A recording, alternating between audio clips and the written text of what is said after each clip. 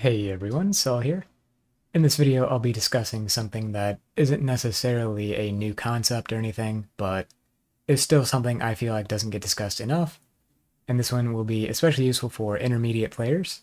If you're more of a new player, I would probably just keep this in mind as you progress and get better at the game, but this is probably something you'll want to revisit later as a concept and as something you do in future leagues maybe your second or third league, you start doing this more, paying more attention to it. But you definitely want to, as an experienced or intermediate player, want to be doing this more regularly. And that thing is fine tuning your loot filter. Now, the idea behind this is that as you optimize your character and your farming strategy, you want to show less loot on the ground. Because at a certain point, it becomes not worth the time spent picking it up and organizing it and listing things for sale and things like that. I say listing things for sale and such, but this is also a concept that applies to solo self-found. Many of you know I play pretty much only solo self-found softcore, so this applies to any league, any situation in which you're worried about efficiency. Because even in a solo self-found environment, you probably want to show more rares early on in the league. Uh, get some gear to pick up. It's an easy way to fill out slots with items that you really don't have good access to otherwise.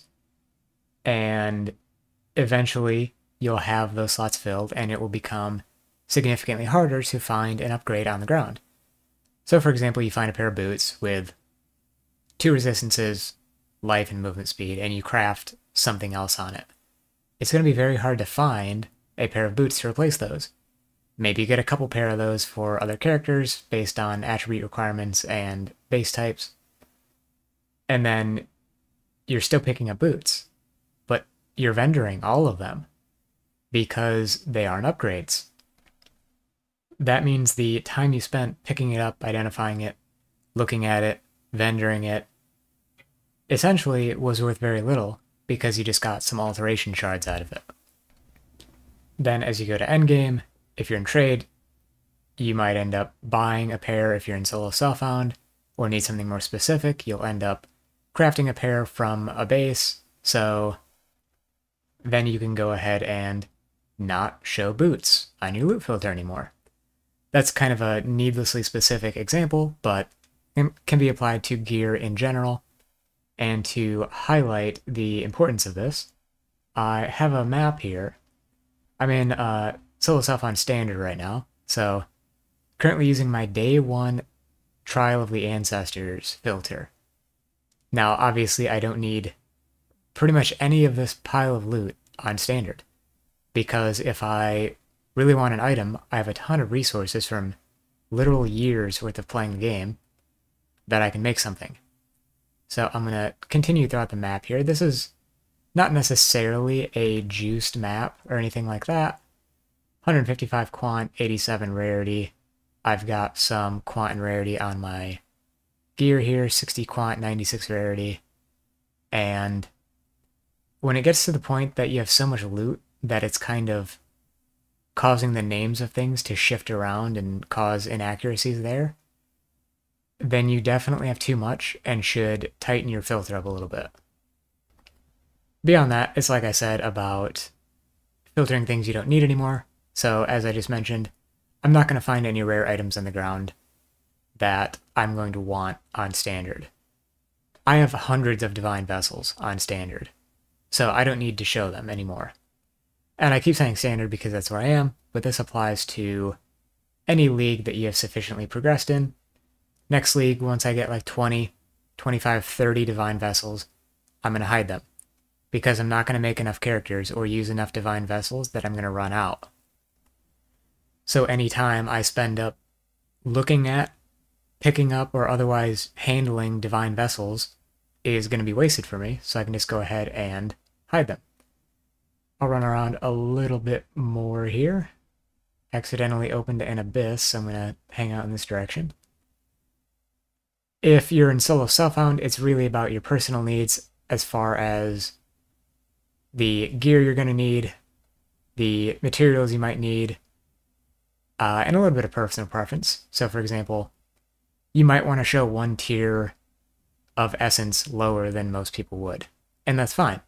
It's a an item that you're going to get in small enough quantities and from specific enough content that it's not a huge deal.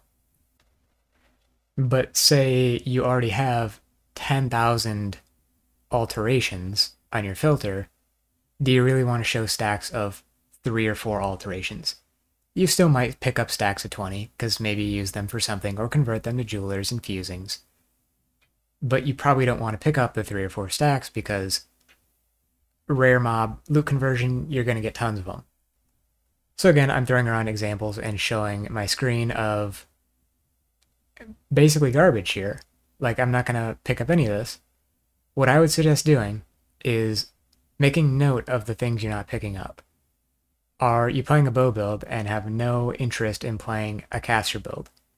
Then probably don't show wands or scepters, for example. If you have no interest in playing a melee build, definitely don't show any melee weapons. Certain divination cards can be a net positive overall, but if you don't like picking them up, then you might as well hide them. That would be things like Rain of Chaos. I think Rain of Chaos is typically worth picking up from a solo self-found standpoint, but I just don't do it because that's a lot of clicking that I don't want to bother with. So if we switch over to my more strict filter, if I can find it, Crucible SSF Strict is the one I was looking for. You can see I'm not showing any of that anymore. We can walk around here. It's a little broken, this filter in particular, but Scours, yeah, I'm fine picking up because I am pretty picky about the maps I run. Crimson Temples, obviously I still want because it's the map I'm running. Uniques, certain uniques I'll show heavy belt as a base, obviously I want to show in case I get a Mageblood or something.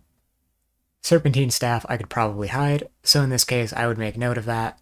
I would look up the base and say, is this, is there a unique I still want from this base? If not, I'll just hide it completely. And I'll do that with various other types of items as well. And the way I'll do that is by heading over to Filterblade. So here we are in Filterblade. I tend to use NeverSinks as a base. If you don't, the same principles apply. Uh, you will have to edit your filter more manually though, and you can do that. I personally don't do that, so I don't have any particular input as for tips on doing that yourself, but if you're the type of person that wants to open up a text editor and manually alter your filter, you can still do that. You'll probably know more about that than me, so I can't offer any particular, excuse me, tips about updating your filter manually, but the same principle applies in that you want to find whatever it is that you're showing and apply or change a rule to not show it anymore. Here in Filter Blade, though, you can see I've loaded up my old Crucible filter. We have an overview here uh, it's set to strict right now. It might actually be a little bit higher than that. or I chose this base, I'm kind of guessing here because it was so long ago. I likely chose this base because the higher ones hid some currency items I didn't want to hide. For example, hyper efficient players in Trade League can be perfectly fine not showing Chaos Orbs. I am not fine hiding Chaos Orbs because in Solo Self-Found, you're going to need Chaos to fuel your map device crafting. So I prefer not to hide them. So I've personally found that Strict Filter works for me, and I use that as my base, and can head over to Customize. In this case, I want to look up Serpentine Staff, which looks like it's included in Boss Drops, Boss Drop Uniques. So I'm actually going to head over to the wiki and look this up real quick. Ah, here we go. So Sire of Shards was the one I got, and I don't particularly want a Sire of Shards. Cane of Kulemak, though, I maybe do want. That comes from Catarina specifically. So, a couple possibilities here. What you could do is only show ones of a certain item level. If you only plan on fighting Catarina in a level 83 zone, that means the cane will always be level 85. So you could do that. However, the fight itself has a variable area level, so that might not always be the case. Another thing you could do is say, you know what, I don't want to see Sire of Shards while I'm mapping because it's relatively common, and I don't run Betrayal all that often. So when you kill Catarina, you can just hold Alt and see the item. I don't particularly feel like doing that, so in this case I am going to leave the item on my filter. That's the basic overview though, or I guess to show another quick example here, if I wanted to hide rusted scarabs, could look up scarabs on the right here. Tier 4 scarabs looks like they're listed as. And if I really don't want to show particular scarabs, then I could hide them here. I'm fine picking up rusted scarabs, so I will leave them. Uh, same thing applies, though, in reverse as well. If you think the filter is hiding something, say you bump up strictness, you can always search over here and see what's going on there. If you have one of the item that you are trying to hide or show in your filter tweaking, I would load up the filter after you've made the changes and always verify if it's important to or verify that the change has been made by dropping one in an area and then seeing if it makes the right noise, has the right visual, etc. If you're just hiding like rare boots or something, if something's wrong, you'll know because you'll be seeing rare boots where you probably shouldn't. However, you could still see, th see things like corrupted boots or something like that, in which case a more specific rule is probably still being applied to it, in which case, again, I would probably make note of that and do another batch of filter updates whenever I uh, had enough things I wanted to switch out. Alongside that, I would also say if you are increasing your strictness especially, or you're making a lot of updates, I would make a new filter based on the old one, as opposed to just updating the old one. Because if you want to revert, in my opinion, it'll probably be easier to switch to the old filter and work from there again than it would be to kind of work backwards and re-add what you took away or show again what you had hidden. So that's about all I had for this one. Hopefully this was a helpful tip in some way. As a quick recap here, the reason I highlight the importance of updating your loot filter is that you spend a lot of time, energy, and eye strain looking through and picking up various pieces of loot on the ground that may not be worth your time based on what you're doing. A general good practice to follow is that if you aren't going to pick up an item, or if you aren't going to at least hover over it and see what it is in the case of uniques, then you should hide it from your loot filter. Ideally, you want as high a percentage of the loot that you see to be picked up as possible.